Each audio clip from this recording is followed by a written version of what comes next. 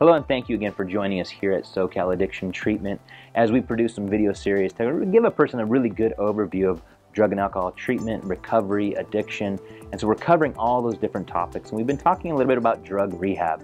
And it's kind of great because in, in the past in my profession, I used to be asked kind of what do you do for professionally, and I talk about I, I run a rehab. I'm the you know because I'm a clinical director here and the CEO of SoCal Addiction Treatment and I'd be a bit ashamed, kind of, you know, because there's such a stigma associated with addiction.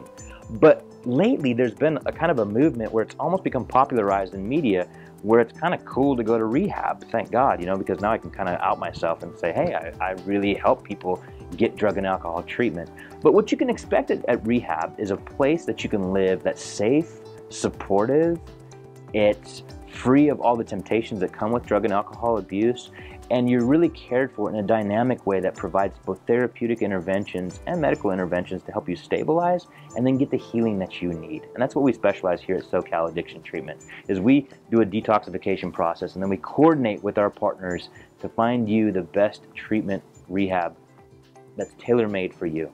Call us now at 888-590-0777 and let us join you here at SoCal Addiction Treatment and walk you through every single step of your recovery process or your loved one's recovery process.